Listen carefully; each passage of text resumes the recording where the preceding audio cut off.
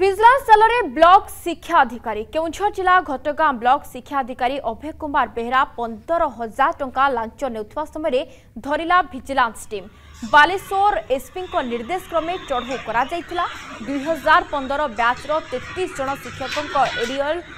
arrear bill clear ପାଇଁ ନବେ ହଜାର ଦାବି କରିଥିବା ବେଳେ ଷାଠିଏ ହଜାରରେ ଫାଇନାଲ୍ ହୋଇଥିଲା ଡିଲ୍ ତେବେ ଅଗ୍ରିମ ପନ୍ଦର ହଜାର ଟଙ୍କା ଲାଞ୍ଚ ନେଉଥିବା ବେଳେ ଭିଜିଲାନ୍ସ ଟିମ୍ ତାଙ୍କୁ ଧରିଥିବା